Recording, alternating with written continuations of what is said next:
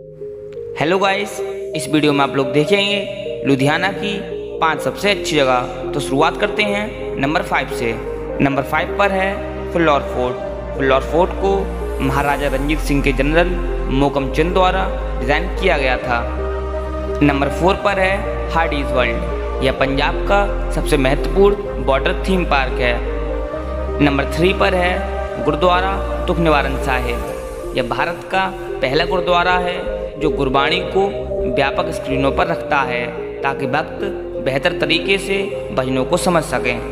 Number two पर है रखवाक पार्क। लुधियाना का रखवाक पार्क बच्चों जॉगर्स और वॉकर के लिए एक पसंदीदा स्थान है। और अब नंबर वन पर है लोधी फोर्ट। लोधी किले को स्थानीय लोग पुराना किला भी कहते हैं। अगर आप लोगों ने अभी तक इस चैनल को सब्सक्राइब नहीं किया तो इस चैनल को भी ज़रूर सब्सक्राइब करें।